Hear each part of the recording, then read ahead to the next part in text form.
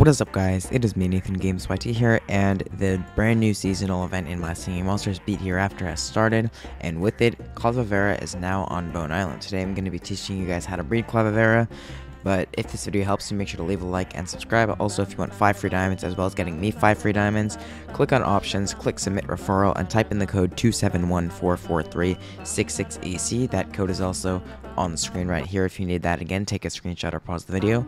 That gives us both 5 free diamonds. But anyway, let's get into the combinations. So, make sure to light all your torches because that maximizes the chances, obviously. Make sure to have some high level monsters.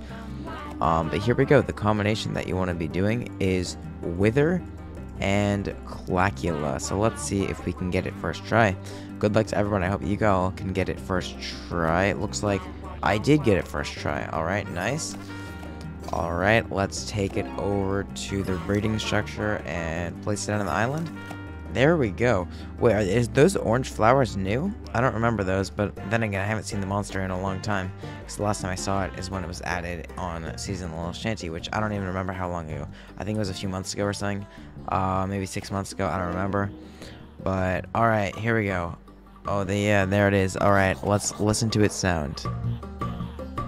Alright, well, yeah, that's its sound. Uh, thanks for watching. I hope I could help. Goodbye.